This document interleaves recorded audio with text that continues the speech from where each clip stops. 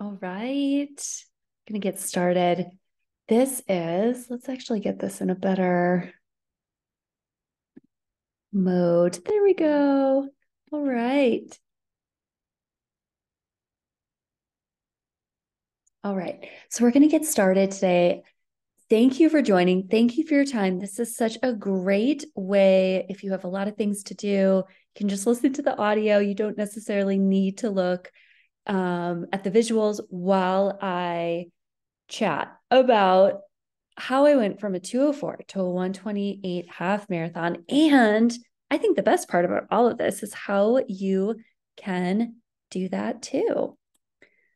All right. So I'm going to give a little bit of an intro first. Um, I am a runner. I am a running coach. I'm a podcast host. Um, and I'm also a dog mom to an awesome black lab. Her name is Kenzie.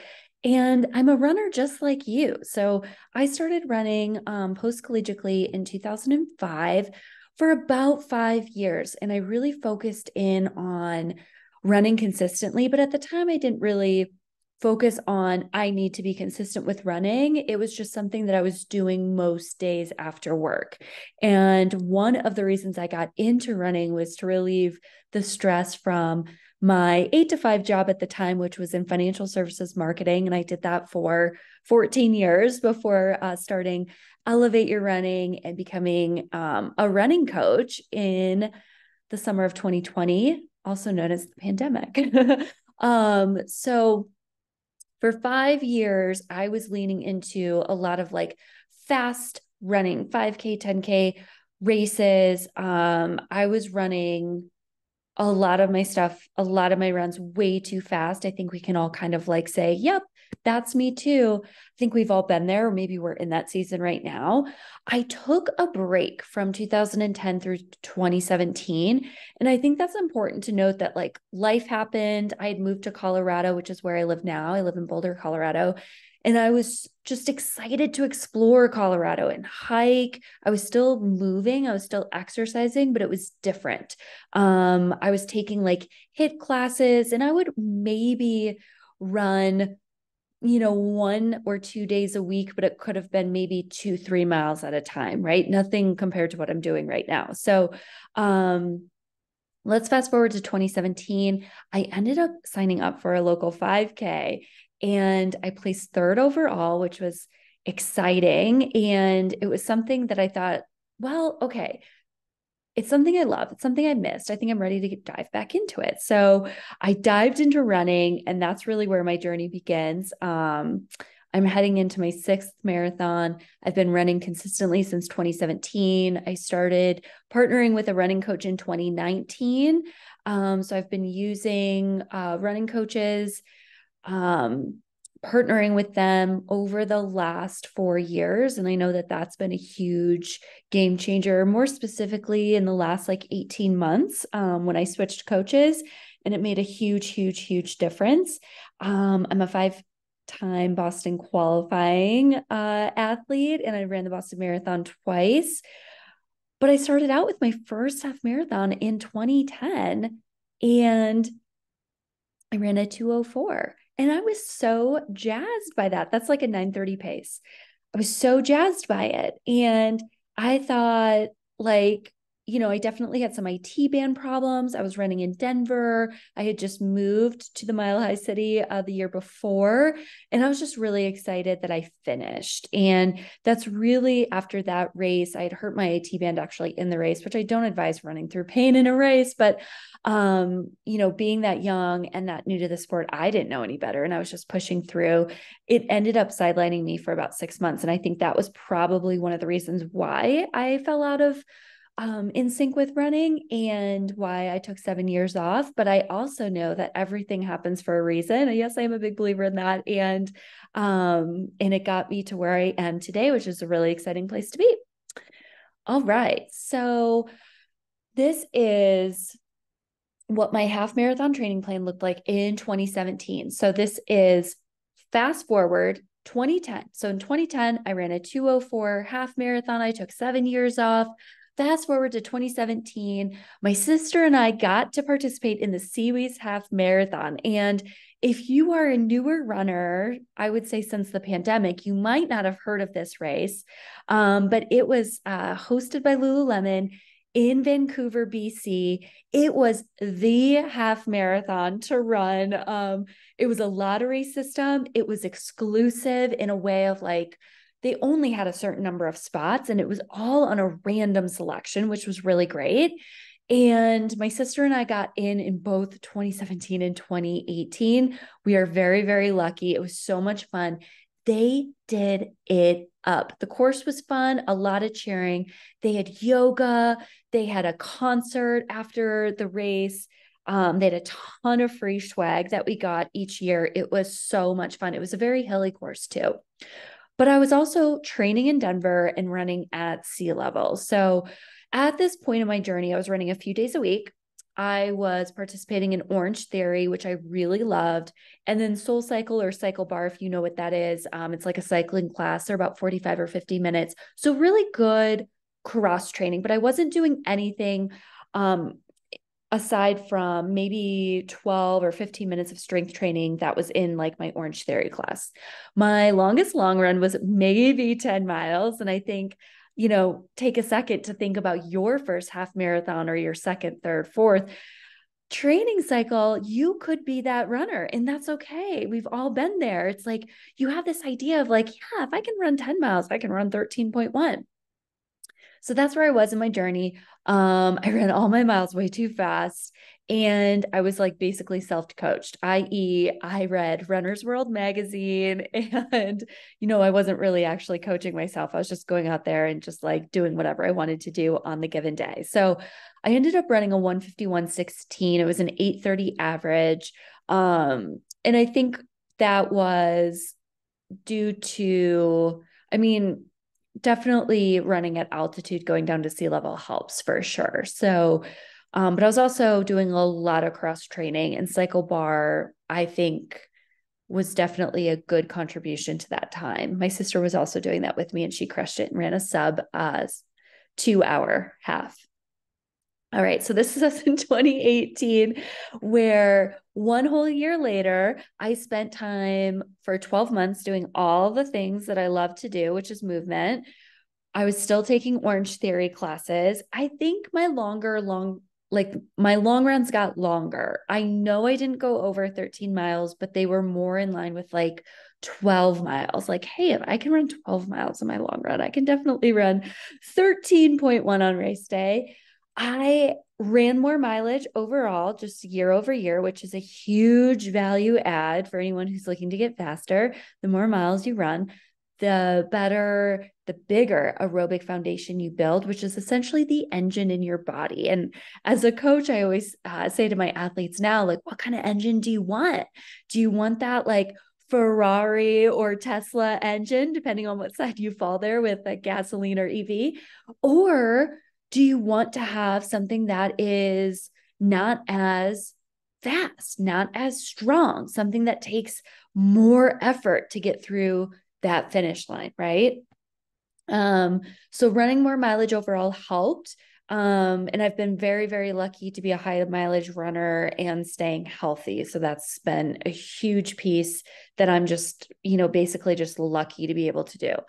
Um, I still wasn't working with a coach at this point, I knew the course and the route, which I think is a huge value add when you're going into a race and you're trying to do better. If it's a race that you've already run before, or maybe it's close to home, or it's a route that you run on your regular training runs, that's going to make a huge difference because your body knows the course, your mind knows the course, you have the muscle memory. So I was able to shave off 12 minutes off of my half half marathon in a full year. I wasn't paying attention to fueling and hydration or recovery or any of those like needle movers, or I call them like the one percenters in training. But I was using jelly belly jelly beans. If you know what I'm talking about, like the, the sports beans. And I think I was eating like one pack for every uh race like every like 13.1 miles like maybe i carried two packs um but that's like two one pack is 100 calories. So let's say i took two packs 200 calories for racing 13.1 miles um and you're expending so many more calories than that. So i'm going to circle back to that later on but i ran a 139.09 in 2018. And that's when the light bulb went off. And I thought, if I can take 12 minutes off of my half marathon over the course of a year of doing, you know, a lot of, you know, I was running a little bit more, cross training. I'm going to hand this over to someone who knows what they're doing, who is certified in this, and see what I can actually do. And that's when I got the idea to run my first marathon. so I ended up running my first marathon in 2019. I ran the California International Marathon. So my next half marathon after the 139 was in Moab, Utah, 4,000 feet. So lower than Denver, lower than Colorado. And um, so I had that benefit there. It was rolling hills. It was awesome. But it was also a tune up to my first marathon. Now, if you've run a marathon, you know what that first training cycle feels like. It's not that fun, right? Am I right? I think it's a huge wake up call to athletes because it's a very different training cycle than the half marathon. You're running more, that long run really takes a toll on the lower body. You really have to be consistent in getting in some really good quality mileage. You can get away with running eight, 10 miles in your long run to run a half marathon. But with the marathon training, you really need to be at 16 and no less to be uh, considered um, successful. So I went into my first marathon saying, I can run 139 half. I really want to go in and BQ my first marathon. So I hired a coach so I could run my first marathon, run it smart, run it well, BQ, and just have someone lay everything out for me. I think that was actually the biggest thing that I wanted. I wanted a plan, I wanted someone to tell me what to do. And I'm that type A athlete, I'm just going to do it. So um, I went into this race as a recovery week, no taper. I remember feeling exhausted and I just wanted the race to be over. I mean, how many times have has that happened to you, right? I started playing around with more fueling on runs, but I was still under fueling for sure. Um, and this was my first half marathon with a coach, and I actually ran, if you notice the time, slower than the time the year before. And I thought, what the heck? But there's a lot of different factors that go into each race. And that's one of my points for today is that Every race is such a nice snapshot of where you are today. And where you are tomorrow or where you were yesterday is going to be a totally different snapshot. What you hope to happen is that you are feeling strong, you're feeling successful, and you have everything kind of fall into place correctly on race day. And sometimes that happens and sometimes it doesn't happen. And that's okay. But I ran a 140.16 and I'm like, well, this was also on like 4,000 feet of elevation gain. It was slightly hilly, which worked really well in my favor for running CIM, which is also it's net downhill, but it is like short and snappy hills. So I thought, great. My sister and I ran this one together as well. It was a lot of fun. She absolutely crushed it. I think it was actually her last half marathon, which is really sad, but she crushed it. And we had a fun weekend in Utah, which is always, you know, that's always nice too. Okay. So I ran CIM marathon December of 19. So it was about eight weeks after I ran the Moab half. And I was running six days a week. I was kind of like topping out. I think my highest mileage uh, was about 62 miles for um, that first marathon training cycle, which builds a really strong aerobic engine, which really helps run strong and run fast. So I decided five weeks after my first marathon that I would run a half marathon in Houston. And the way the coaching system worked at the time with the coach I was partnered with is that it was a package thing. So I bought three months of coaching and she trained me through CIM. If you're wondering if I Boston qualified, I did, which was exciting. And I ran a 325 and it all was like working, right? I thought, okay, like I am getting stronger, I'm getting faster but I was really tired of running after CIM. And that was actually a mantra that I was using in the last bit of the race. I said, to myself, you never have to run again if you just finish this race. So um, I took a lot of time off between the marathon and this half marathon that you're seeing here. It was five weeks apart. I would not recommend as a coach that you race a half so soon after running a marathon because it's a huge, the marathon takes a huge toll on your body and you really need more time to recover. But I wasn't working with a coach at the time. I had stopped running. I was maybe, I definitely took two full weeks off and then I sprinkled in about eight or nine runs over the course of the next three weeks to run this half marathon. Now, my friend had invited me. She was the marketing director at the Houston Marathon. And um, I looked like such a baby in that photo. It was in 2020, uh, right before the pandemic. And you know, my friend invited me, she gave me a bib, and I thought, what the heck? I'm going to do it. So, Houston is actually a great, it's a great place to race because if you can time it right, in the winter, they can have really great weather. It can be um, cool, sunny, um, but just really nice weather. And Houston is flat as a pancake, which for a lot of us provides really strong running. I know not everyone loves flat courses. Um, some people really like downhill or rolling hill, but for me personally, a flat course is where I'm going to run my strongest. I can metronome miles and just click off paces, and it's a great place to be. So it's something I'd love for you to think about as an athlete of like, where do you race well? and what type of course, and then really lean into those races when it comes to picking out your races. Um, so this was really a breakthrough half marathon. Um, five weeks after CIM, I know that it came from running at sea level, running a flat half, which was my very first flat half marathon. My first four before that were all hilly. And it came off of marathon training and having and running a ton of easy miles, a lot of miles, and just like actually getting super consistent with running. And during that that prep, I did some strength training, but I cut out all the extra classes and the HIIT stuff. Um, and then we entered the pandemic.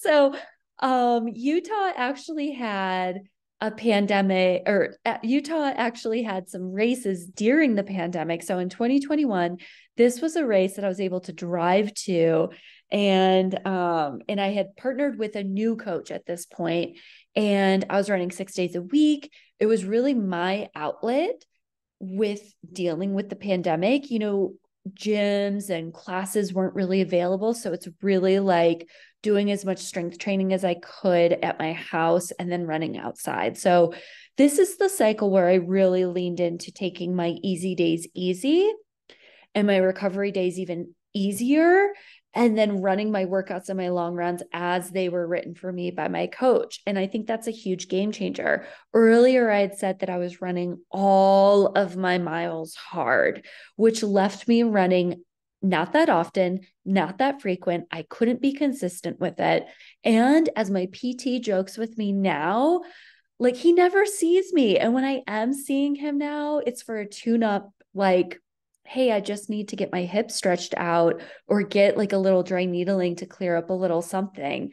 And in these days, I was definitely seeing, especially in that like Vancouver, Moab, CIM cycle over those three years, I was seeing my sports doctor at least twice a month. CIM prep, it was twice a week because I was that hurt. Like I was just niggles left and right. So I really embrace that 80 20 running where the majority of my days are just so easy. It's like you're jogging. That's basically how I describe it to athletes now. You're just going out for a jog. You should feel like you can continue to go and continue to run when your time is up or your miles are over. Um, and then on your workout days and your long runs, you like hit the pace is written. So that's going to be a huge piece to running faster when you race. Um, and I introduced recovery into my training. So, sleep is the number one recovery tool. It's going to be a huge factor in what you do and how you perform and how your body recovers. Nutrition and hydration are next up. If you recover well, bef- like eat well before, during, and after workouts and long runs, that's going to set you up for success. And if you're that morning runner, definitely getting something in your body before going out for even just an easier recovery long, easier uh, recovery run is going to make a huge difference and you're going to feel so much better. Um, and I could talk about that on a whole other like webinar. So maybe that's a topic for another time. I added better fueling. I was taking in more gels and I was consuming more when I was running. And I worked with a sports dietitian during the pandemic um, because I actually was running I wasn't running well at all during the pandemic. Um, so after Houston, through I would say about eight months, I was running terribly. I was, everything felt really hard, even running.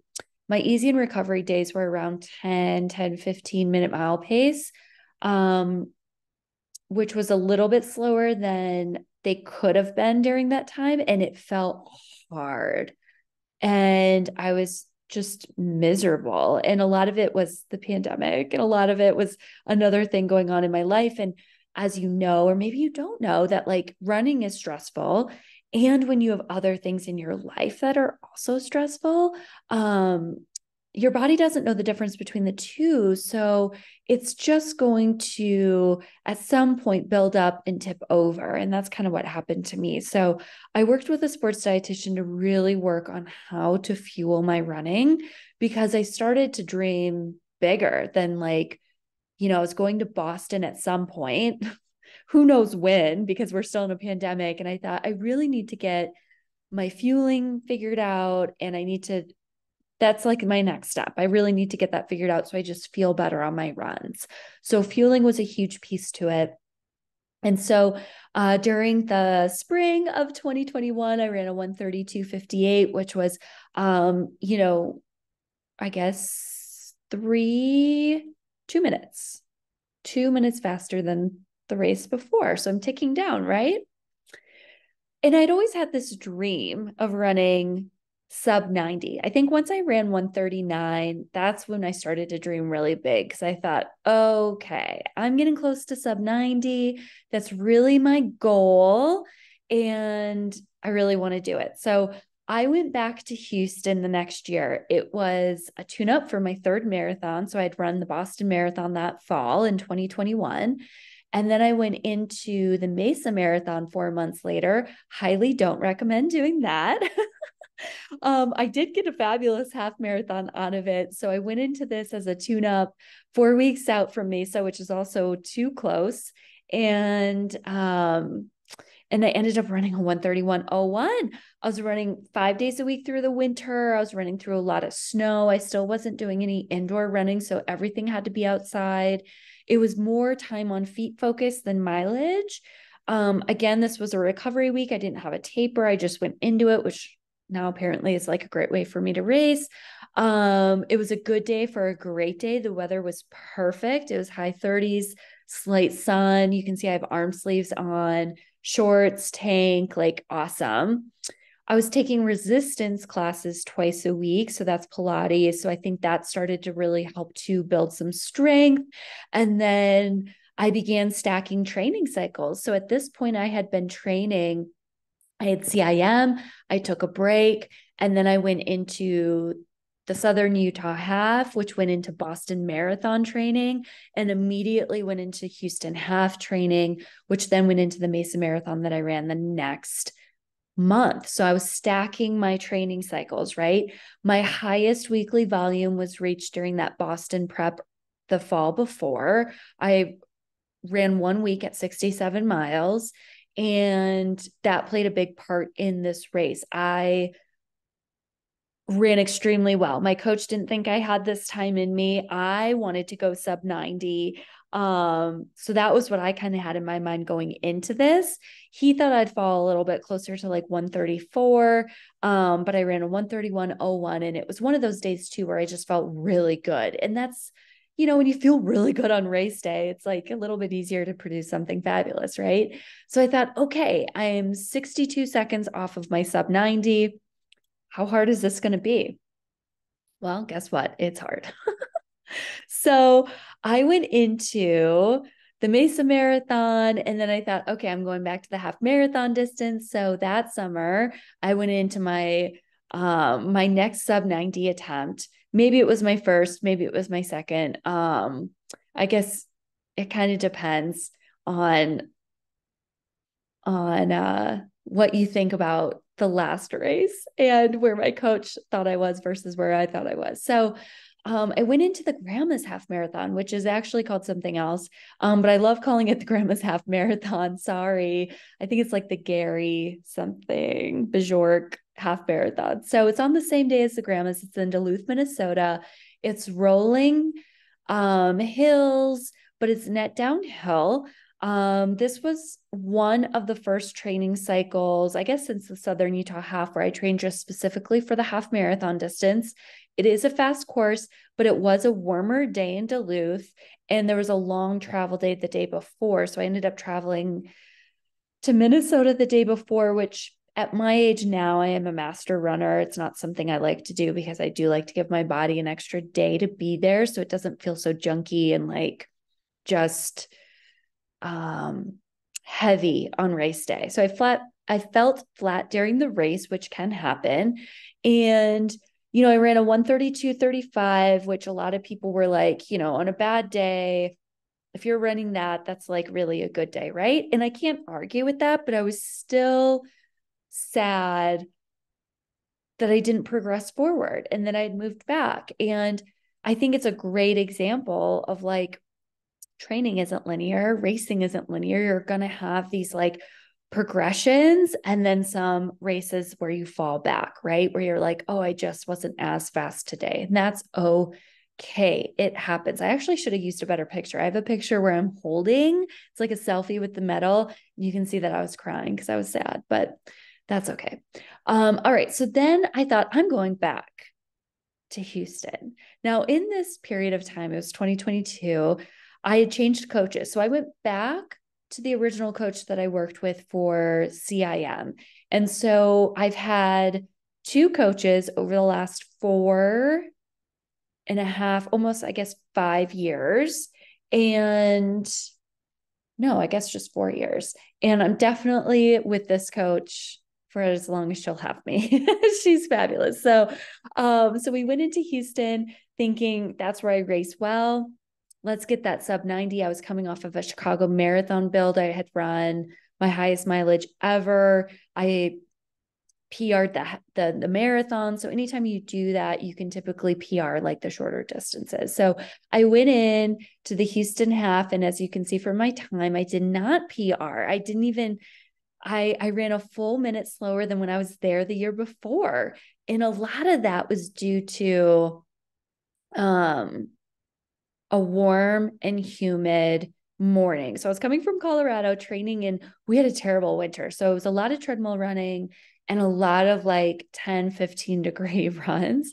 And, and Houston ended up being 60 degrees when we started the race and it was 90% humidity and I was already sweating at the start line, which is a very bad place to be. Specifically, if you are a warmer runner, I am, my heart rate just skyrockets and it's like really, really tough to hit paces. So um, the paces just didn't translate. So I was like, all right, and there we go. Cut to the Indy Half Marathon. So that was uh, last month. I am in the process of running CIM next month. So this was a tune up going into CIM and it was a breakthrough race. So it was a recovery week, no taper. I'm been running my highest volume yet, um, running consistently 74 ish miles over the last like five, six weeks, something like that. So I spent the summer working on speed. So that's where a lot of the 128 came from. I needed to work on my gauges, my speed gauges, right? So I needed to work on that one mile, that 5K, that 10K. I had the half marathon and the marathon dialed in, but you really need to have that extra speed if you really want to go the distance in that race that you're looking for, specifically the half marathon. So I spent June, July, August working on 200s, 300s, 400s, 800s, 1Ks. Um, so that's anywhere between half a lap on a track up to a, two and a half laps on the track. And my coach also asked me to start running during the day and get um, just used to and heat acclimate a little bit better. It helped a little bit in the summer, but I have to tell you, it definitely helped when the temperatures cooled off. It made a huge difference. And I just shot up. My fitness just shot across the room. It was incredible. So it running in the heat's really hard for me because like I said earlier, I'm like a warmer runner. So if that's you, I would suggest maybe doing this. Obviously, you know, talk to a doctor, don't do anything that's going to like harm you, but I would go out around 10, 11 a.m and run in the summer heat. Um, and really, what it came down to is that I got outside of my comfort zone. I got outside of my comfort zone in terms of the summer speed and working that top end speed, which is really difficult if you've only been training for a half or a marathon. And then I was running in the heat all summer, most of the summer. I also really paid attention to my nutrition. So I started taking supplements as women, as female runners, specifically at altitude. There's a very specific, like the iron and the ferritin specifically, usually are too low, which means you're you're not going to have the energy that you need to train, recover, and race. So getting that fully dialed in, if you look closely, you can tell that I have a gel on my lip, which is awesome, which is why I use this picture. Um, I fueled the best for this run.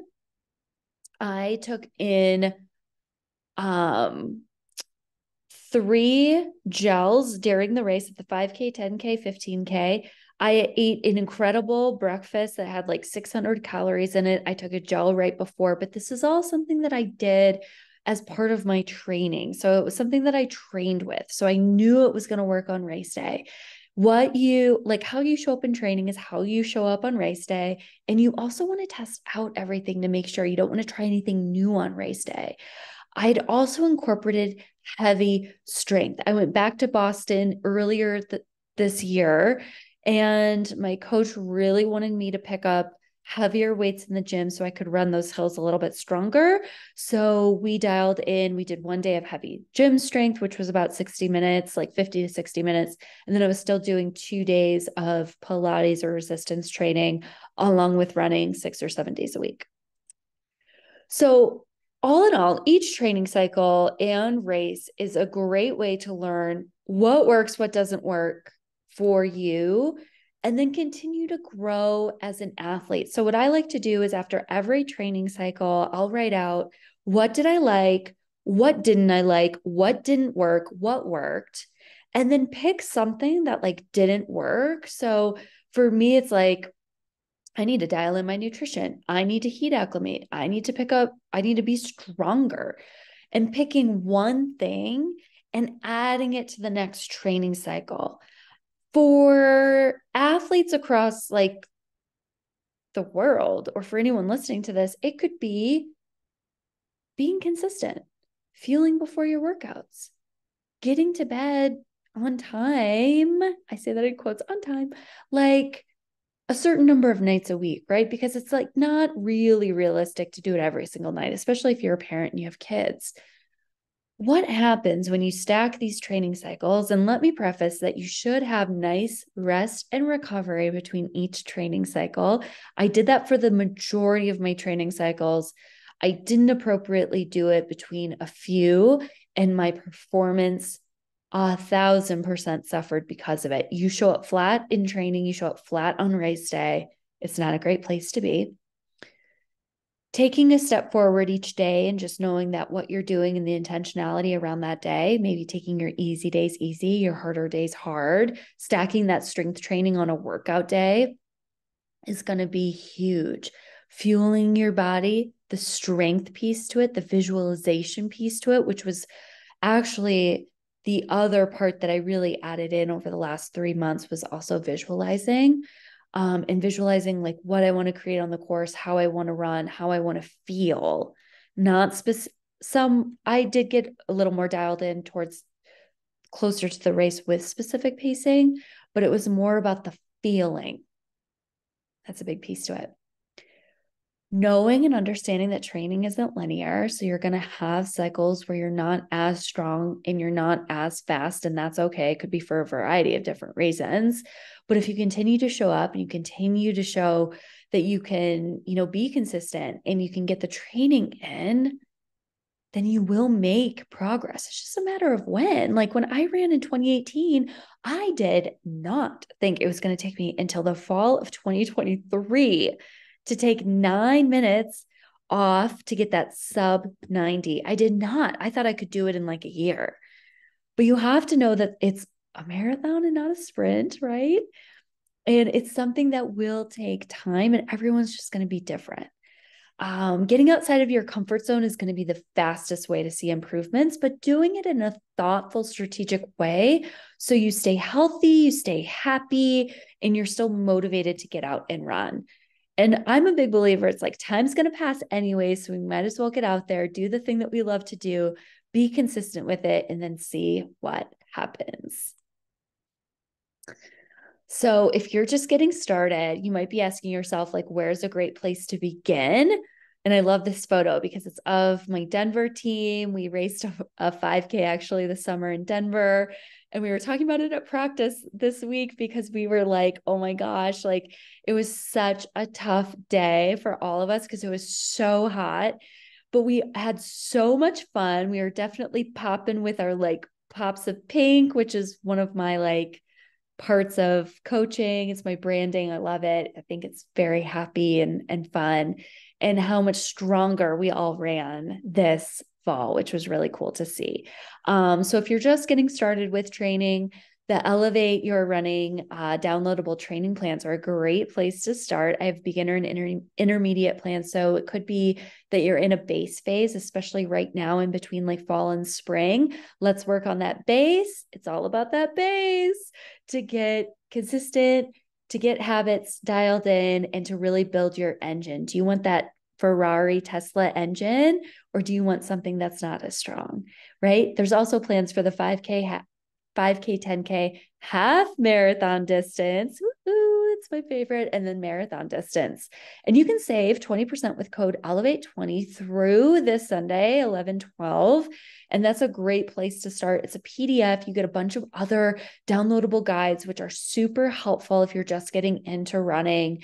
Or maybe it's a season where you don't want to work with a coach and you just want to follow a plan and see where you are. All plans are written based in um, based in chunks of time. So you'll have a range of time as well as perceived effort with an effort chart. So you know where that goes.